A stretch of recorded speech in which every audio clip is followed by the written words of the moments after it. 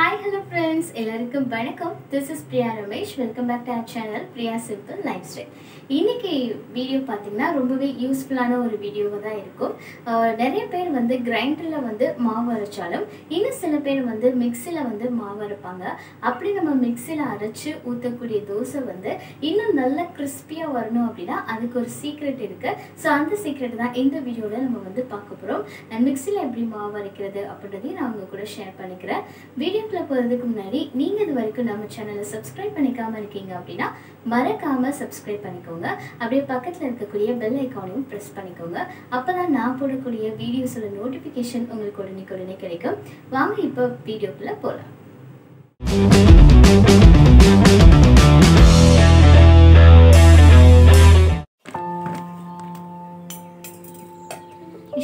நான் வந்து இந்த உலக்கில் தான் வந்து அரிசி வந்து கணக்கு வச்சுப்பேன். ஸோ இதில் வந்து எனக்கு நாலு டம்ளர் நான் வந்து போட போகிறேன்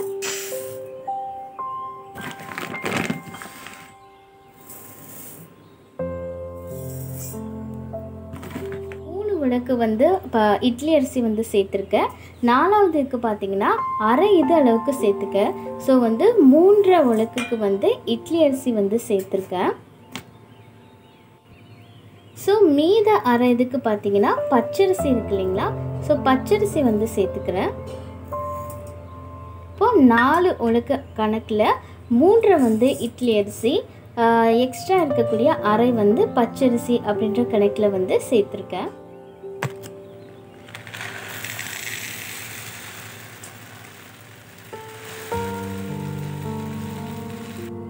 இப்போது நாலு உலக்கு அரிசிக்கு ஒரு உலக்கு வந்து அது என்ன உளுந்து இருக்கு இல்லைங்களா? வெள்ளை உளுந்து உருட்டு உளுந்து. ஸோ அது வந்து சேர்த்துக்கிறேன்.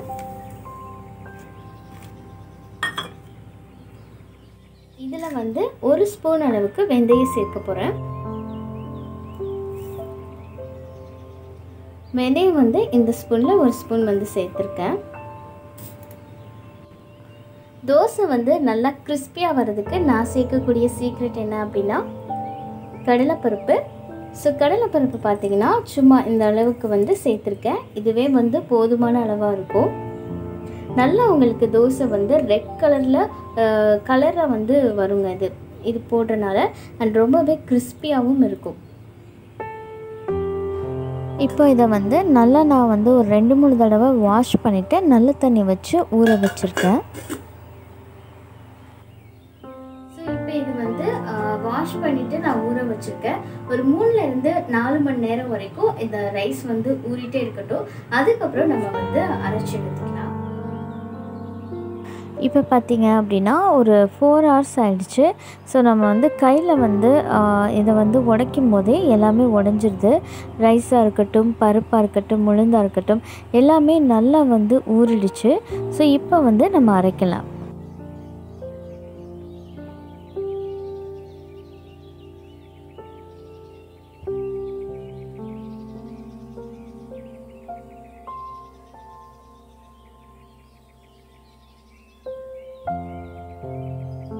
இப்போது தேவையான அளவுக்கு நான் ரைஸ் போட்டுட்டேன். இந்த மிக்சர் ஜாரில் நம்ம ட்ரான்ஸ்ஃபர் பண்ணிவிட்டு நல்லா வந்து நல்லா நைஸாக வந்து அரைச்சி எடுத்துக்கலாம். இதை ஒரே கண்டினியூஸாக நீங்கள் வந்து ஓட்டாமல் கொஞ்சம் கொஞ்சமாக விட்டு விட்டு ஓட்டினீங்க அப்படின்னா ரொம்ப நல்லது. மிக்ஸி வந்து சீக்கிரம் அடியாகாமல் இருக்கும்.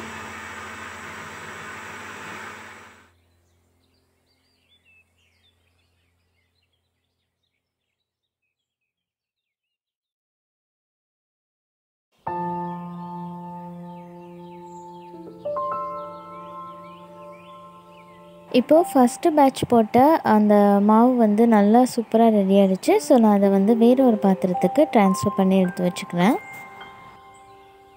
அதே மாதிரி எல்லாமே நான் வந்து இந்த மாதிரி மாவு அரைச்சி எடுத்தாச்சு. ஸோ கையோடையே பார்த்திங்க அப்படின்னா நான் வந்து உப்பு சேர்த்து நல்லா வந்து மிக்ஸ் பண்ணி விட்ருவேன் தேவையான அளவுக்கு உப்பு சேர்த்துட்டு அதை வந்து நம்ம நல்லா மிக்ஸ் பண்ணிவிட்டு வச்சிட்டோம் அப்படின்னா அடுத்த நாள் நம்ம வந்து தோசை சுடுறதுக்கு ரொம்ப ரொம்ப ஈஸியாக இருக்கும். இது வந்து ரொம்ப உங்களுக்கு பிடிச்சி நிறையாலாம் வராதுங்க. ஓரளவுக்கு மீடியமாக தான் இருக்கும். நம்ம வந்து கிரைண்டரில் ஆட்டின அளவுக்கு இது வந்து நிறையா நமக்கு வந்து கொடுக்காது. இப்போ பார்த்திங்கன்னா அடுத்த நாள் இந்த மாதிரி தான் இருக்குது மாவு. ரொம்பவே கெட்டியாக தான் இருக்குது நம்ம தேவையான அளவுக்கு தண்ணி ஊற்றி பேட்டர் வந்து ரெடி பண்ணிக்கலாம். இப்போ வந்து தோசை தவா வந்து சூடானதுக்கப்புறமா நம்ம வந்து தோசை வறுத்துக்கலாம்.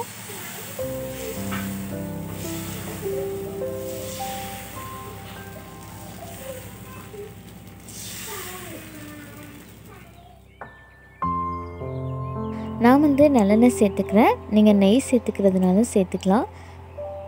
இப்போ வந்து தோசை நல்லாவே குக் ஆகிட்டுருக்கு பார்த்தீங்கன்னா உங்களுக்கே தெரியும். அதோட கலர் வந்து நல்லா சேஞ்ச் ஆகிடுச்சு பார்க்குறதுக்கு எவ்வளோ கிறிஸ்பியாக இருக்குன்னு பாருங்கள் ஸோ இது வந்து சாப்பிட்றதுக்கு ஒரு ஹோட்டலில் நம்ம சாப்பிட்ற அந்த தோசை மாதிரி இருக்கும்.